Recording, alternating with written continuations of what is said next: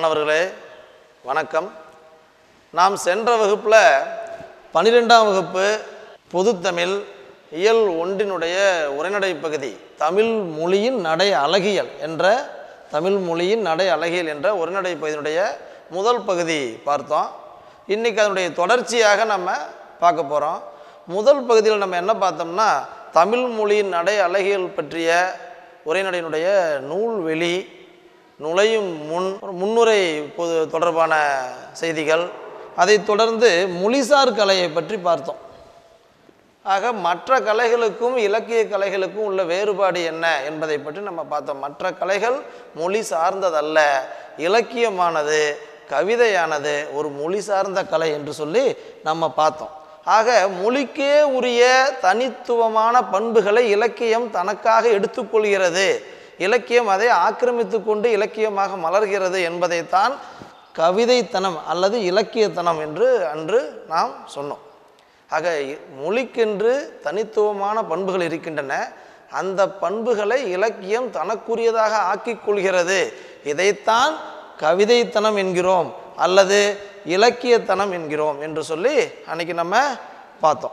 அது பொலிட்டி பொய்டிக்கல்னஸ் அல்லது லிட்டரரினஸ் என்று நம்ம அன்னைக்கு பார்த்தோம். இன்று நாம் பார்க்கறது அடுத்த பகுதியான கலை முழுமை.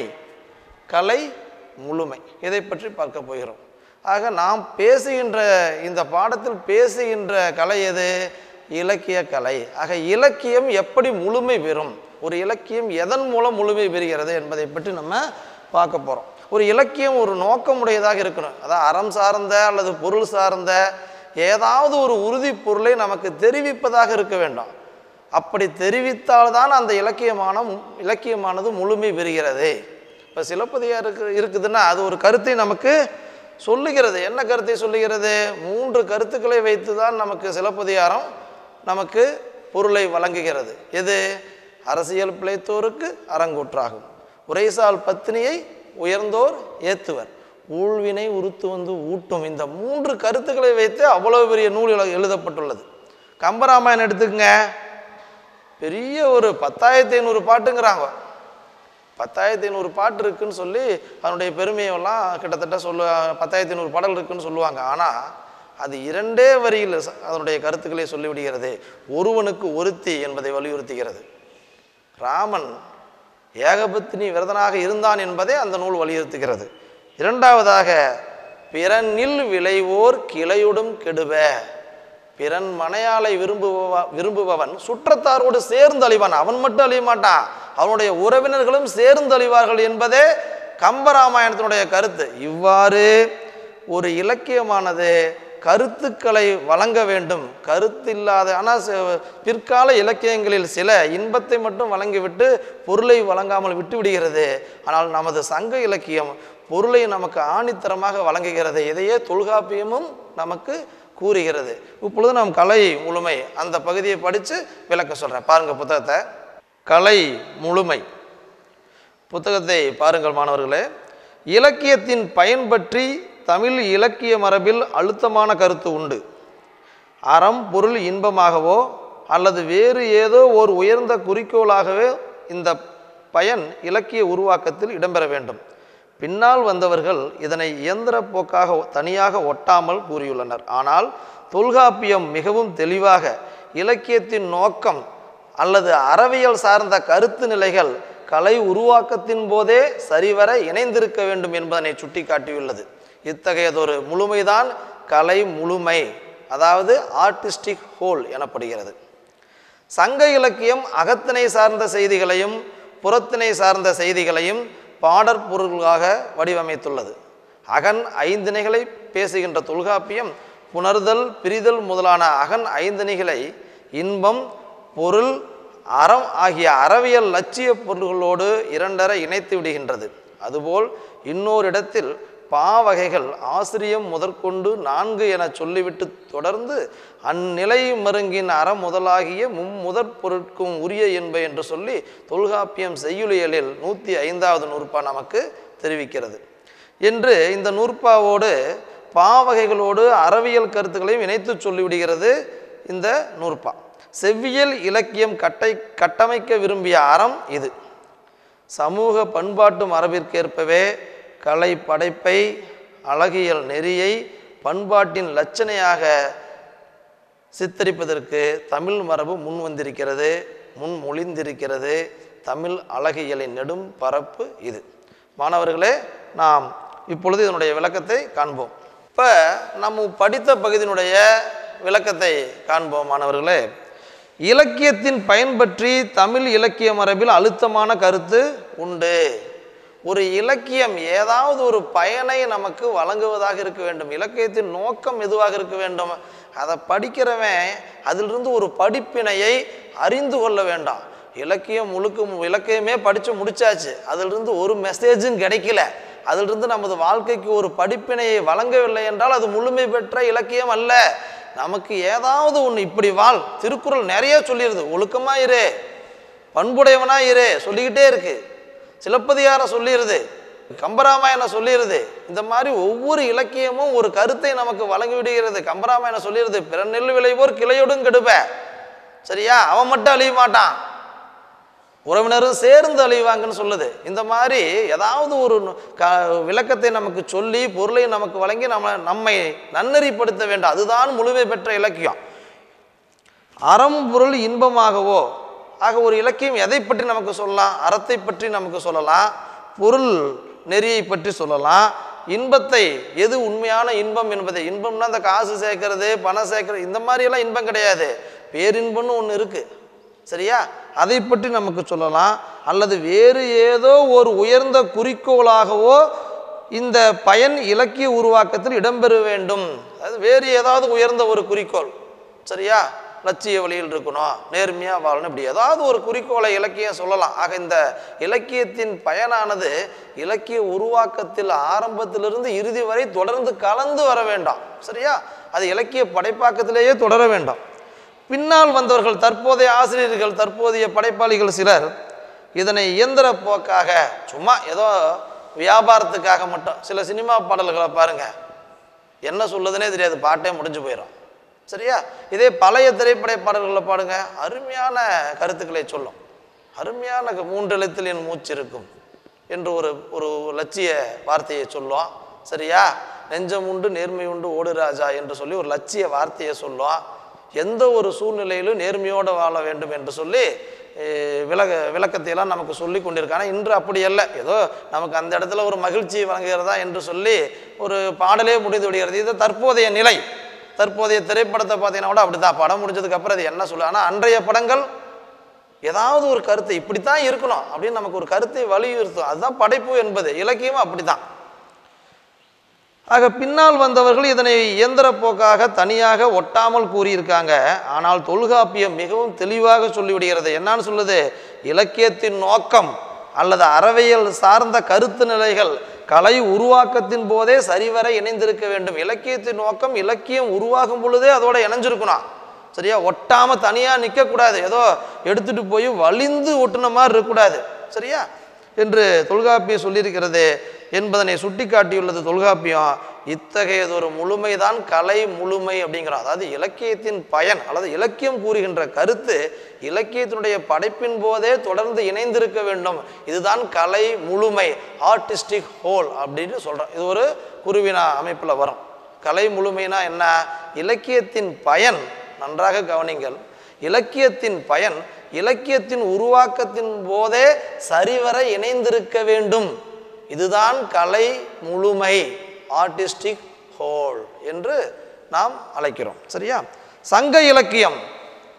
இத்தகையது ஒரு நிலையினை அழகாக கையாளுகிறது. சங்க இலக்கியம் அகத்திணை சார்ந்த செய்திகளையும் புறத்திணை சார்ந்த செய்திகளையும் பாடல் பொருள்களாக வடிவமைத்துள்ளது. எப்படி வாழும் அகத்திணை ஐந்து உரிப்பொருள்களை சொல்லுகிறது. சரியா? அகத்திணையில புறத்திணையில சொல்லுது. எது வீரம் எது கொடை எப்படி வாழ வேண்டும் என்கின்ற கருத்துக்களை புறத்திணையில சொல்லுது. ஆக அகத்திணை சார்ந்த செய்திகளையும் புறத்தினை சார்ந்த செய்திகளையும் பாடல் பொருளாக வடிவமைத்துள்ளது சங்க இலக்கியம். அதன் ஐந்திணைகளை பேசுகின்ற தொல்காப்பியம் அகன் ஐந்திணைகள். சரியா? குறிஞ்சி முல்லை மருதம் நெய்தல் பாலை. அது என்ன சொல்லிடுது ஐந்து உரிப்புள்ளுகளையும் நமக்கு சொல்லிடுது சரியா? புணர்தல் பிரிதல் இருத்தல் ஊடல். சரியா? புணர்தல் இருத்தல் ஊடல் இரங்கல் என்று சொல்லி ஐந்து உரிப்பொருள்களையும் நமக்கு வழங்கி விடுகிறது. அது மேலும் பாருங்க இந்த அகன் ஐந்திணைகளை அறம்பொருள் இன்பமாகிய அறவியல் லட்சிய பொருள்களோடு இரண்டரை இணைத்து விடுகிறது. ஆக இந்த சங்க இலக்கியங்கள் இந்த உரிப்பொருளை கூறும் பொழுதே இப்படி பிரிதல் எதுக்காக பிரியறான் பிரிதல்ங்கிற ஒரு உரிப்பொருளையே எடுத்துங்க பாலைத்தனையில் வரும். எதுக்காக பிரியறான் பொருள்வையில் பிரியறான் பொருள் சம்பாதிக்கிறதுக்காக பிரியறான் ரைட்டு. பரத்தையர் பிரியறான் சரியா? அது தவறானது. ஆக இது தவறான ஒரு விஷயம். ஆனால் சங்க இலக்கியம் அதை மேன்மைப்படுத்துகிறது. ஆனால் தற்போதைய நிலையில் அது மேன்மையானதாக இல்லை. ஆக அது ஒரு அப்படி பிரிகிறான் இதையெல்லாம் என்ன பண்ணுது? அறம்பொருள் சார்ந்த கருத்து நிலையோடு இணைத்து இப்படித்தான் வாழ வேண்டாம். இப்படித்தான் இருக்க வேண்டும்னு சொல்லிடுது சங்க இலக்கியம். பாருங்க. அறம்பொருள் இன்பம் முதலிய அறவியல் லட்சிய பொருளோடு இரண்டரை இணைத்து விடுகிறது. அதுபோல இன்னொரு இடத்துலையும் பாவகைகள் ஆசிரியம் முதற்கொண்டு நான்கு என சொல்லிவிட்டு பா ஆசிரியா ஆசிரியப்பா முதற்கொண்டு நான்கு வகைங்கிறது உங்களுக்கு தெரியும். வெண்பா ஆசிரியப்பா வஞ்சிப்பா கழிப்பா நான்கு வகை. அதை சொல்லிட்டு இந்த நான்கு வகை பாக்களும் அந்நில மருங்கின் அந்நிலைன்னு இருக்கணும் அந்நிலன் இருக்கு. அந்நிலை மருங்கின் அறமுதலாகிய மும்முதல் பொருட்கும் உரிய என்ப. ஆக இந்த நான்கு பாவகைகளும் அறம் முதலாகிய மூன்று பொருள் எது? அறம் பொருள் இன்பம். இந்த மூன்று பொருள்களையும் வைத்து பாடுவதற்கு உரியதாகன்னு சொல்றாரு. ஆக சங்க காலத்துல இந்த நான்கு வகையான பாடல்களுமே ஏதாவது ஒரு கருத்தை வழங்க வேண்டும் என்று சொல் தொல்காப்பியர் நமக்கு சொல்லிடுறாரு. என்று பாவகைகளோடு அறவியல் கருத்துக்களை இணைத்து சொல்லிவிடுகிறது தொல்காப்பியம். ஆக பா பாவகைகள் எதற்காக இருக்கிறது? அறவியல் கருத்துக்களை கூறுவதற்காக தான் அப்படின்னு சொல்லிடுது அப்போ இதுலேருந்து என்ன தெரியுது? ஒரு இலக்கியம் பாவகைகள் தான் படைக்கப்படுகிறது. ஆக பாவகைகள் எதற்கு இருக்கிறது? அறக்கருத்துக்கள் அறம்பொருள் இன்பம் போன்ற கருத்துக்களை வழங்க இருக்கிறது. ஆக ஒரு இலக்கியமானது ஏதாவது ஒரு கருத்தை நமக்கு வழங்க வேண்டும் என்பது தொல்காப்பியம் கூறுகின்ற கருத்தாக அமைகிறது. செவ்வியல் இலக்கியம். செவ்வியல் இலக்கியம்னா எது? கிளாசிக்கல் லாங்கு லிட்ரேச்சர் எது? இது சங்க இலக்கியம் தான். இன்னைக்கு இருக்கிறதெல்லாம் செவ்வியல் இலக்கியம் நம்ம சொல்ல முடியாது. சரியா? ஆக சங்க இலக்கியங்கள் கட்டமைக்க விரும்பிய அறம் இது. எது கட்டமைக்க விரும்பிய அறம்? அறம். சங்க இலக்கியம் அறம்பொருள் இன்பம் போன்ற கருத்துக்களை வழங்குகிறது. இதுதான் அது செய்கின்ற ஒரு வேலையாக இருந்திருக்கிறது. சமூக பண்பாட்டு மரபிற்கேற்பவே கலை படைப்பை அழகியல் நெறியை பண்பாட்டின் லட்சணையாக சித்தரிப்பதற்கு தமிழ் மரபு முன் வந்திருக்கிறது சரியா? கலை படைப்பும் அதில் அழகில் நெறியோடு படைப்பதும் நமது பண்பாட்டினுடைய ஒரு குறியீடாக சங்க இலக்கியம் வச்சிருந்திருக்கு. அதையே முன்மொழிந்திருக்கிறது. தமிழ் அழகியினுடைய நெடும் பரப்பு இது. தமிழ் அழகியலானது இவ்வளவு கூறுகளை அதாவது ஒரு இலக்கியமானது ஒரு கருத்துக்களை வைத்து பாடுவதும் ஒரு அழகுதான். அதுவும் அழகியலின் ஒரு கூறு தான் ஆக அழகியலின் நெடும் நெடும் பரப்பு இது என்று சொல்லி சொல்லுகிறது. நாம் வந்து இப்போ கலை முழுமையை பற்றி பார்த்தா கலை முழுமைன்னா என்னது? இலக்கியமானது ஏதாவது அறம்பொருள் இன்பம் சார்ந்த ஒரு குறிக்கோளை வழங்குவதாக இருக்கணும் அல்லது ஏது வேறு ஏதாவது ஒரு உயர்ந்த குறிக்கோளை நமக்கு வழங்குவதாக இருக்கணும். சரியா? அந்த குறிக்கோளை வழங்குவது எப்படி இருக்கணும்? இலக்கியத்தினுடைய தோற்றத்திலிருந்த இலக்கியம் படைக்கும் பொழுதே அதோடு இரண்டரை கலந்து விட வேண்டும். இவ்வாறு இலக்கிய படைப்பிலேயே அது அது கூறுகின்ற கருத்து கலந்து வருவது கலை முழுமை ஆர்டிஸ்டிக் ஹோல் என்று நாம் அழைக்கிறோம். இப்போ நம்ம அடுத்த பகுதியை நம்ம பார்க்கலாம். அடுத்த பகுதி என்னது? நடையியல் விளக்கம். இங்கே போட்டிருக்கேன் பாருங்கள் நடையியல் விளக்கம். நடையியல்னா என்ன? கவிதை எப்போ எவ்வாறு கொண்டு செல்லப்படுகிறது? நடையியல் விளக்கம். அதில் சில கூறுகளும் உண்டு. நடையில் என்னென்ன கூறுகள் உண்டு? ஒளிக்கோலங்கள் நடையியலில் ஒளிக்கோலங்கள் சொற்புலம் தொடரியல் போக்குகள் இதெல்லாம் நடையியல் கூறுகள். சரியா? ஒரு பாடலானது இயங்குகின்றதுன்னா அதில் வந்து என்னென்ன வேணும்? ஒளிக்கோலம் வேணும். ஏன்னா சில ஒளி அமைப்பிலேயே ஒரு பாடலானது சிறப்பானதாக அமையும். அது அழ- அழகியல் கூறுகளில் அது ஒளிக்கோலமும் ஒன்று. எடுத்துக்காட்டாக வச்சுங்க ஒரு பொண்ணு வந்து பந்து விளையாண்டுட்டு இருக்கிற அது குற்றால குறவஞ்சியில் வர்ற ஒரு பாடல். சரியா? அப்போ விளையாடுறப்ப எப்படி விளையாடுவா? துள்ளி துள்ளி விளையாடுவா.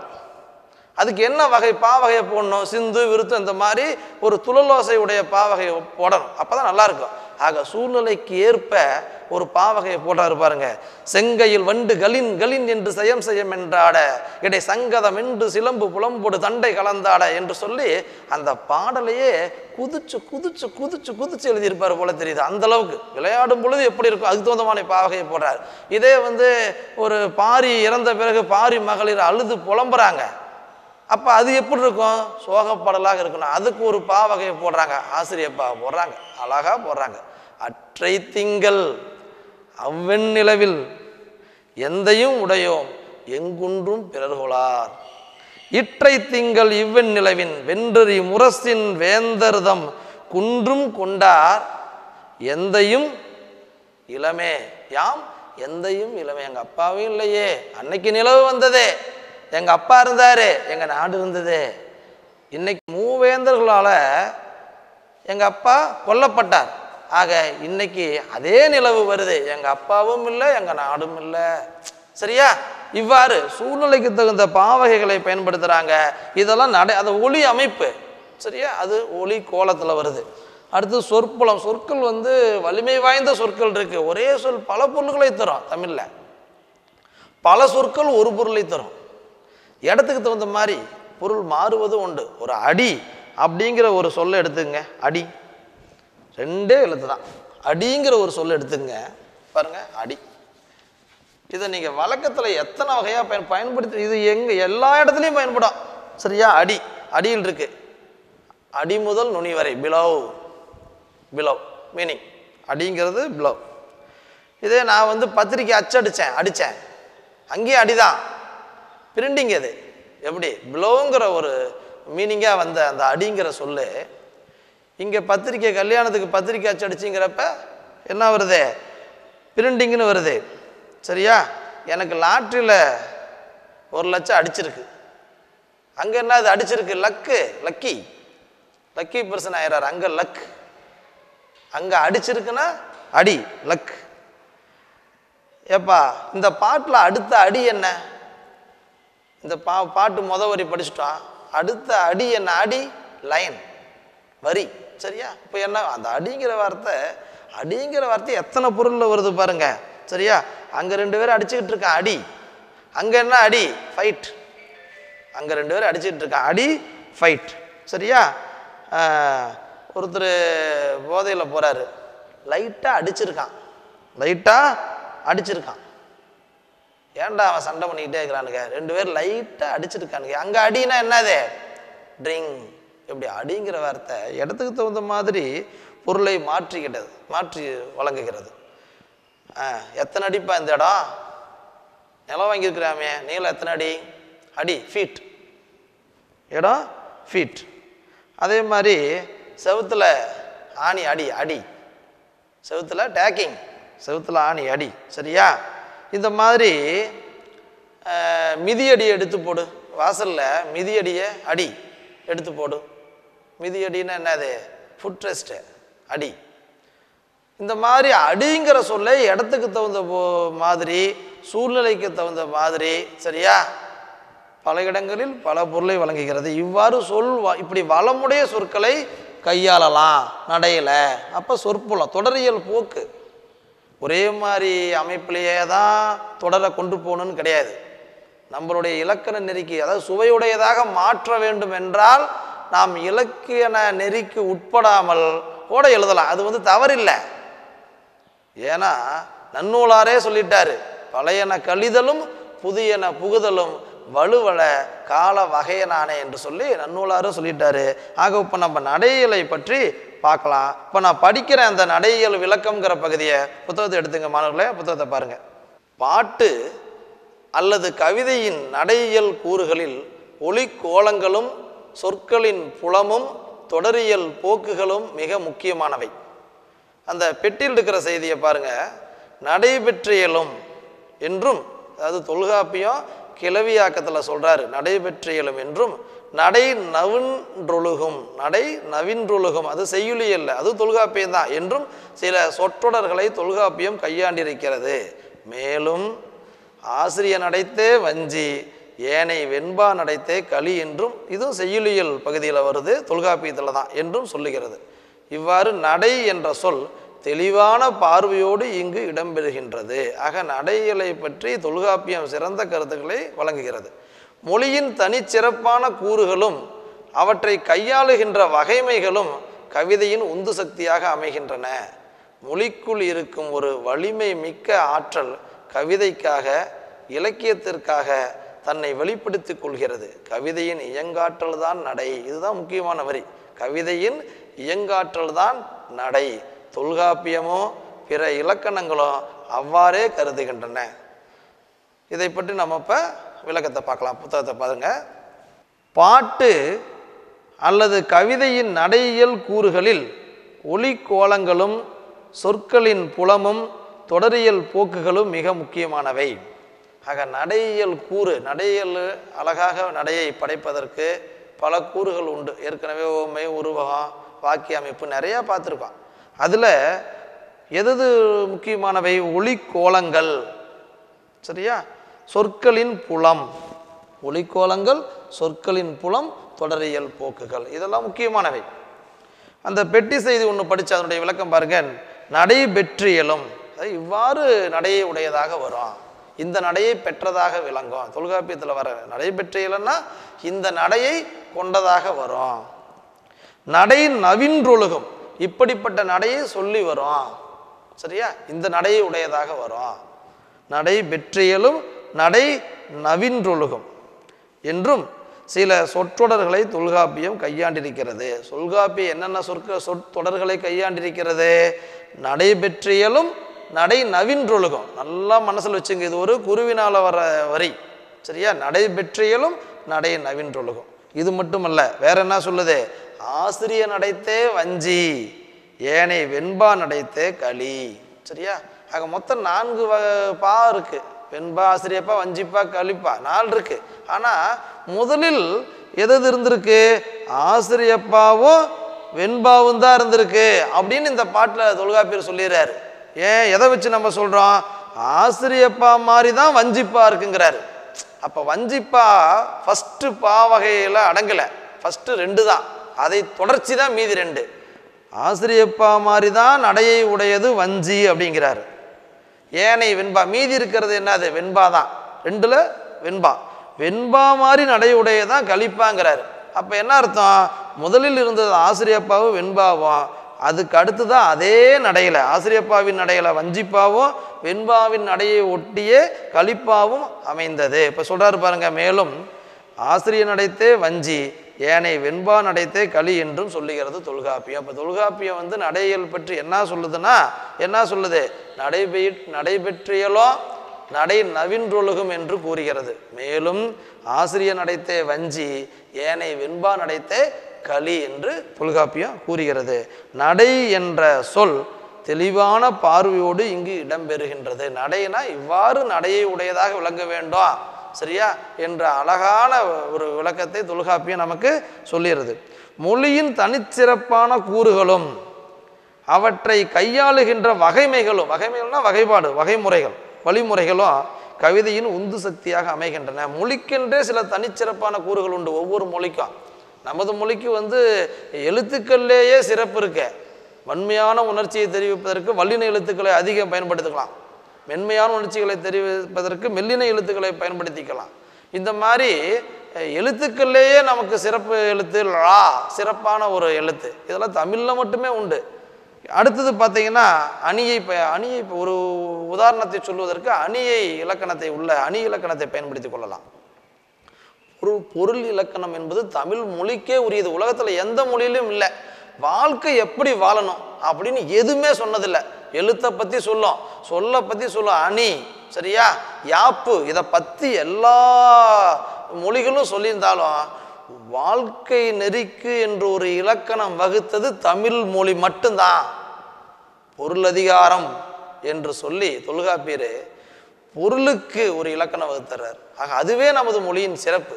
சரியா? ஆக இந்த மாதிரி சிறப்பான கூறுகளை எல்லாம் சிறப்பான முறையில் கையாளுகிறது நமது படைப்புகள் இதெல்லாம் கவிதையின் உந்து சக்தியாக அமைகின்றன. இப்படி மொழிக்குள் இருக்கும் ஒரு வலிமை மிக்க ஆற்றல் நமது மொழிக்கு இருக்கின்ற ஒரு வலிமையான ஒரு ஆற்றல் கவிதைக்காக இலக்கியத்துக்காக தன்னை வெளிப்படுத்திக் கொள்கிறது. மொழிக்குள்ள சில ஆற்றல் வாய்ந்த இருக்கும் எது நான் ஏற்கனவே சொன்னேன் லா என்கின்ற சொ- எழுத்து அணி இலக்கண அமைப்பு சரிங்களா? பொருள் இலக்கண அமைப்பு ஓமை உருவகம் இறைச்சி போன்ற அந்த உத்திகள் இதெல்லாம் வந்து கவிதைக்காக சாதாரணமாக பேசுகிறப்ப அதையெல்லாம் வச்சு வச்சு பேச மாட்டான். ஒருத்தர் நடந்து வரான்னா வாடா அப்படின்னு தான் சொல்லுவான். பாரு அவன் அண்ணன் மாதிரி நடந்து வரான். சும்மா இயல்பான வழியில் சொல்ல மாட்டான். கவிதையில் சொல்லுவோம் அன்னம் போன்ற நடையுடையவனாக வருகிறான். சரியா? கவிதையில் நம்ம சொல்லுவோம். அதே மாதிரி கவிதையில் இந்த ஒரு உத்திகளை பயன்படுத்துவோம். இறைச்சி உள்ளுரைவமோ போன்ற உத்திகளை பயன்படுத்துவோம். இந்த மாதிரி அந்த இலக்கியத்திற்கு வேலை என்னன்னா கவிதை மொழியினுடைய தனிச்சிறப்பான கூறுகளை இலக்கியத்து இலக்கியம் வந்து அதை தன்னகப்படுத்துகிறது என்பது தான் இலக்கியத்துக்காக ஒரு மொழிக்குள் இருக்கும் ஒரு வலிமை மிக்க ஆற்றல் கவிதைக்காக இலக்கியத்துக்காக தன்னை வெளிப்படுத்திக் கொள்கிறது. மொழிக்குள் இருக்கின்ற ஆற்றல் எங்கே வெளிப்படுகிறது? கவிதையில் வெளிப்படுகிறது. இவ்வாறு கவிதையின் இயங்காற்றல் தான் நடை. இப்போ நல்லா பாருங்க கவி நடை அப்படிங்கிறதுனுடைய விளக்கம் மொழிக்கு என்று தனிச்சிறப்பான ஒரு கூறுகள் உண்டு. அது இலக்கியத்திற்காக தன்னை வெளிப்படுத்திக் கொள்கிறது. இலக்கியத்தில் தான் அதை வெளிப்படுத்த முடியும். இவ்வாறு ஒரு இலக்கியமானது ஒரு கவிதையானது நடைபெற்று இயங்குகிறது. இவ்வாறு கவிதையின் இயங்காற்றல் தான் நடை என்கிறது நமக்கு இங்கே. நடையியல் விளக்கு என்னது நடையியல் கூறுகள் மூணு பார்த்தோம். எது எது இந்த பகுதியில் நான் பார்க்குறது ரெண்டே விஷயம் தான் நடையியல் கூறுகள் ஒன்று எது? ஒலிக்கோலம் சொற்புலம் தொடரியல் போக்குகள் இதெல்லாம் நடையியலுடைய கூறுகள். சரியா? சரி கவிதையின் இயங்காற்றல் தான் நடை. ஏன் கவிதையின் இயங்காற்றல்னா என்னது? மொழிக்குள் இருக்கின்ற சிறப்பான பண்புகள் கவிதைக்காக இலக்கியத்திற்காக தன்னை தன்னை வெளிப்படுத்திக் கொள்கின்றன. சாதாரணமாக வெளிப்படுத்தாது. கவிதையில் வெளிப்படும். இவ்வாறு கவிதையின் இயங்காற்றல் தான் நடை. சரியா? இவ்வளோதான் மொழிக்குள் இருக்கின்ற தனிச்சிறப்பான கூறுகள் கவிதைக்காக இலக்கியத்திற்காக தன்னை வெளிப்படுத்திக் கொள்கிறது. இலக்கியத்தில் தான் தெரியும் உள்ளுரிவம்னா என்ன இல இறைச்சினா என்னான்னு. சாதாரண அமைப்பில் பேச்சு நடையெல்லாம் தெரியாது. ஆக கவிதைக்காக தன்னை வெளிப்படுத்தி கொள்கிறது. மொழியின் தனிச்சிறப்பான கூறுகள் தனிச்சிறப்பான சிறப்புகள் அமைப்புகள் கவிதையில் வெளிப்படுகிறது. இவ்வாறு கவிதையினுடைய இயங்காற்றல் தான் நடை இவ்வாறு கவிதையினுடைய இயக்கம் கவிதை எவ்வாறு நகர்ந்து செல்கிறது முடிவு வரை என்பதுதான் நடை. அது ஒவ்வொரு படைப்பாளையும் ஒவ்வொரு வகையான நடையை கையாளுவாங்க. சரியா? ஆக இவ்வாறு நடப்பது தான் நடை. கவிதையின் இயங்காற்றல் தான் நடை. தொல்காப்பியமும் பிற இலக்கணங்களும் அவ்வாறே கருதுகின்றன. அடுத்தது ஒளி கோலங்கள் இப்போ நம்ம ஏற்கனவே பார்த்தோம் நடையலில் வந்து மூணு ப- கூறுகள் பார்த்தோம். ஒலிக்கோலம் சொற்புலம் தொடரியல் போக்குன்னு. அதில் அந்த ஒலிக்கோலத்தை மட்டும் பார்க்கலாம் பாருங்க. ஒலிக்கோலம்னா என்ன? அப்படிங்கிறது தான். ஃபஸ்ட்டு ஒலிக்கோலத்தினுடைய உட்பிரிவாக நம்ம என்ன பண்ணலாம்? ஒளி பின்னலை பற்றி பார்க்கலாம். அதாவது ஒளி ஒளிகள் அதாவது ஒளி எங்கிருந்து தோன்றும்? ஃபஸ்ட்டு சைகையில் இருந்தோம் ஓசையில் இருந்தால் ஒளி தோன்றும். அந்த ஒளி எவ்வாறு ஒரு படைப்பில் ஒரு இலக்கியத்தில் சேர்ந்திருக்கின்றன? என்பதுதான் ஒளி பின்னல். சரியா? இடத்துக்கு தகுந்த மாதிரி அந்த ஒளி அமைப்பு மாறும். பாருங்க. இப்போ நான் புத்தகத்தை படிக்கிறேன். அதை நீங்கள் கவனிங்க. ஒளி கோலங்கள். எந்த தொன்மையான மொழியும் சமிக்ஞையிலிருந்தும் இசையிலிருந்தும் தான் தொடங்குகிறது. மொழி சார்ந்த கவிதையும் இசையோடும் இசை கருவியோடும் தான் பிறக்கிறது. ஓசையும் பொருளும் இணைந்து கலை வடிவம் கொள்கின்றன. இதனையே அந்த பணுவலின் பணுவல்னா நூல்.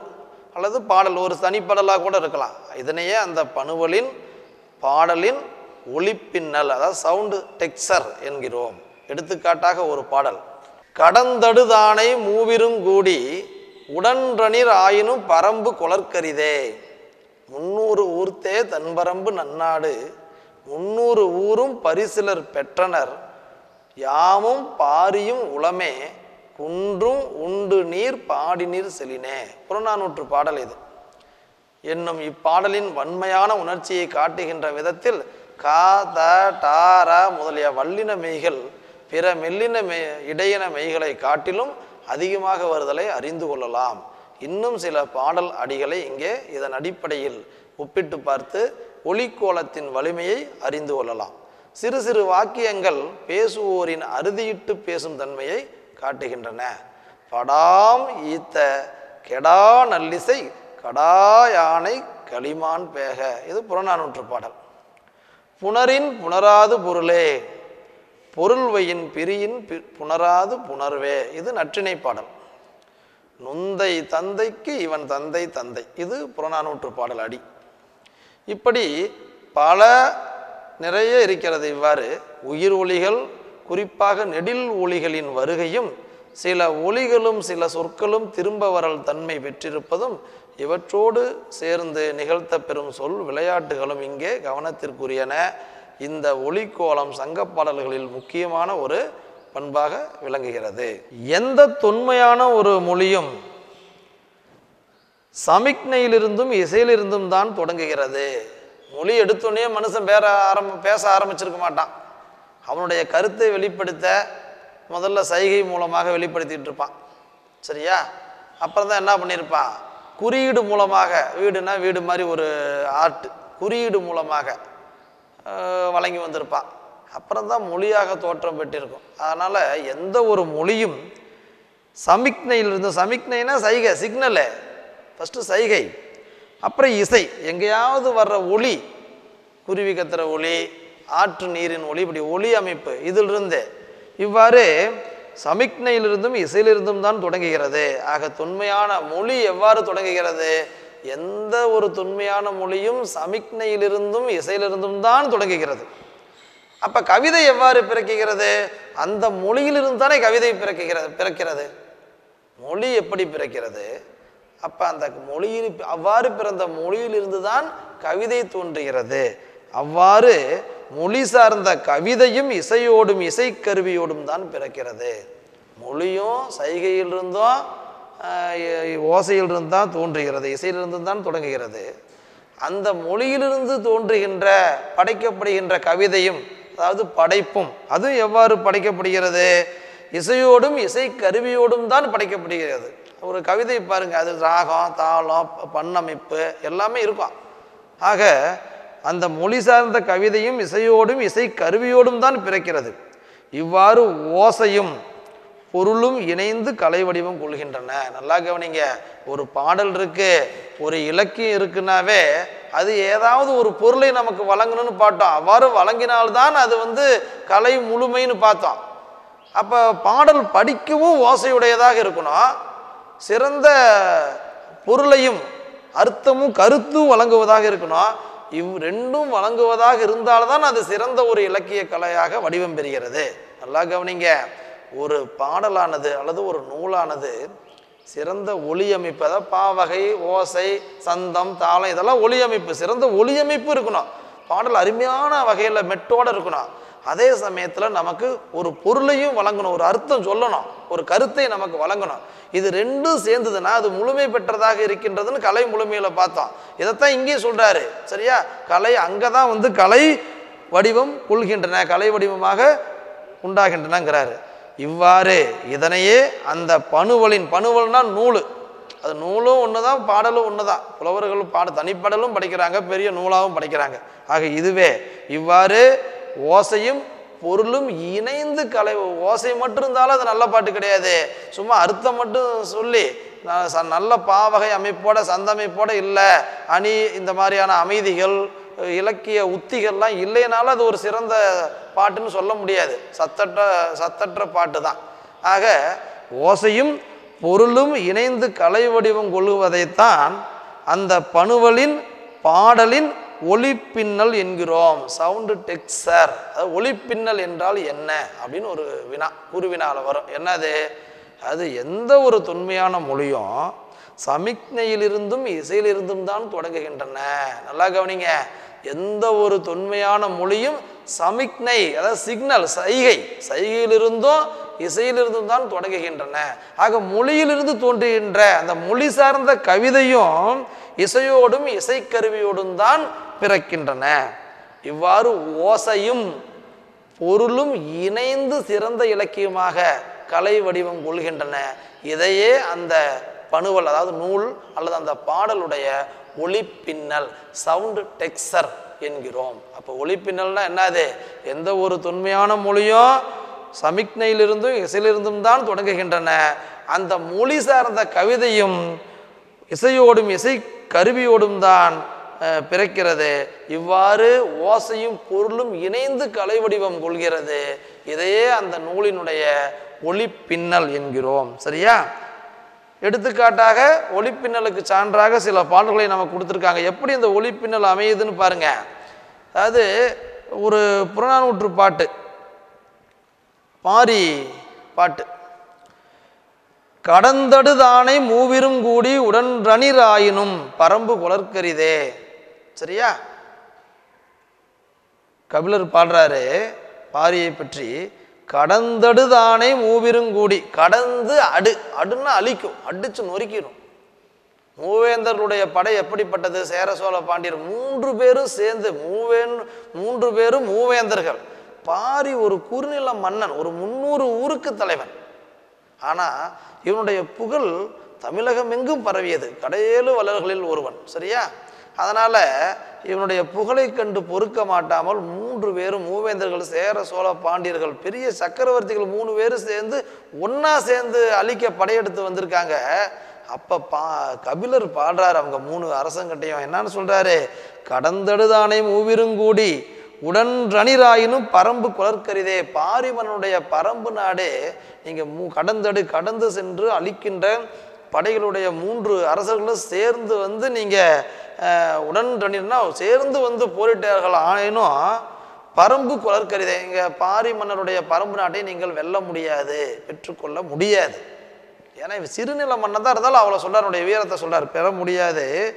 முந்நூறு ஊர்த்தே தன் பரம்பு நாடு. இந்த பரம்பு நாடு எத்தனை ஊர்களை உடையது? முந்நூறு ஊர்களை உடையது பரம்பு மலை என்கின்ற ஒரு மலையை உடையது. முந்நூறு ஊர்களை உடையது. முந்நூறு ஊரும் பரிசிலர் பெற்றனர். ஏற்கனவே அந்த முந்நூறு ஊரையும் இவர் தான் கடையேழு வள்ளல் வாரி வாரி வழங்கிடுவார். பரிசர்கள் ஆடுனரும் பாடுனரும் புலவர்களும் பாடி அந்த முந்நூறு ஊர்களையும் பரிசாக வாங்கிட்டு போயிட்டாங்க. யாமும் பாரியும் உளமே இப்போ மிச்சம் இருக்கிறது யாரு? நானும் அதாவது கபிலர் சொல்கிறார் நானும் பாரியும் தான் இப்போ மிச்சம். எல்லாத்தையும் பு- இரவலருக்கு வாரி வழங்கிட்டான் என் மன்னன்.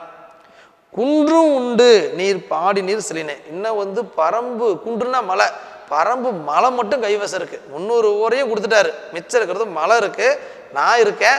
நம்ம மன்னன் பாரி இருக்கார். மூணு பேர் தான் இருக்கோம். சரியா? அதையும் நீங்க வந்து படையெடுத்து வந்தீங்கன்னா ஜெயிக்க முடியாது. அதையும் அவங்ககிட்ட பாரியை ஜெயிக்க முடியாது. வேற என்ன பண்ணலாம்? நீங்க ஆடுனர் போலவும் பாடுனர் போலவும் இரவலர்களாக ஆடி பாடி வந்தீங்கன்னா அந்த மலையும் தூக்கி கொடுத்துருவான். ஆக போரிலே எங்கள் மன்னனை நீங்கள் வெற்றி பெற முடியாது. நீங்கள் வேணால் ஆடி பாடி வந்து இந்த மாதிரி எங்களுக்கு வந்து மன்னரே எங்களுக்கு ஏதாவது கொடுங்கன்னா அந்த பரம்பு ம- ம- மலையும் கொடுத்துருவான். நீங்கள் அதை வாங்கிட்டு போகலாம் ஆனால் போர் புரிந்து வெற்றி பெற வெற்றி பெற முடியாது என்று பாரியின் வீரத்தை கபிலர் எடுத்து கூறுகிறார் இந்த பாடலில். என்ற இந்த பாடலில் வன்மையான உணர்ச்சியை காட்டுகின்ற விதத்தில் இந்த பாட்டானது பாரியினுடைய வீரத்தை காட்டுவதனால வல்லின எழுத்துக்கள் அதிகம் பயின்றுருமாறு கபிலர் படைக்கிற இந்த பாட்டினுடைய எழுத்துக்கள் எண்ணி பார்த்தீங்கன்னா அந்த கசட என்ற ஆறு வல்லின எழுத்துக்களில் கா த டார முதலிய வல்லின மெய்யெழுத்துக்கள் நிறையா இந்த பாட்டில் வர்ற மாதிரி பிற மெல்லின இடையின மெய்களை காட்டிலும் அதிகமாக வருதலை நாம் அறிந்து கொள்ளலாம். இன்னும் சில பாடல் அடிகளை இங்கே இதன் அடிப்படையில் ஒப்பிட்டு பார்த்து ஒலிக்கோலத்தின் வலிமையை அறிந்து கொள்ளலாம். இது மட்டுமல்ல இன்னும் சில பாடல் கொடுத்துருக்கோம் பாருங்கிறாரு சிறு சிறு வாக்கியங்கள் கூட பேசுவோரின் அறுதியிட்டும் தன்மையை காட்டுகின்றன. சிறு சிறு சிறு வாக்கியம் கூட அந்த பேசுபவர் படைப்பாளி எப்படி ஒரு பொருளை அப்படியே ஸ்ட்ராங்காக சொல்கிறாருங்கிறத நம்ம காட்டுது. பாருங்க படாம் ஈத்த கெடான் இல்லிசை கடா யானை களிமான் பேக. இது புறநானூற்று பாட்டு. க- படாம்னா என்னது? போர்வை. ஈத்த கெடா நெல்லிசை மயிலுக்கு போர்வை தந்த போர்வி தந்தவன் யாரு? மயிலுக்கு போர்வை வழங்கியவன் பேகன். ஆக படாம்னா போர்வை ஈத்தன்னா கொடுத்த கெடா நெல்லிசை அதாவது எப்பொழுதும் கெடாத நல்ல புகழை உடையவன்.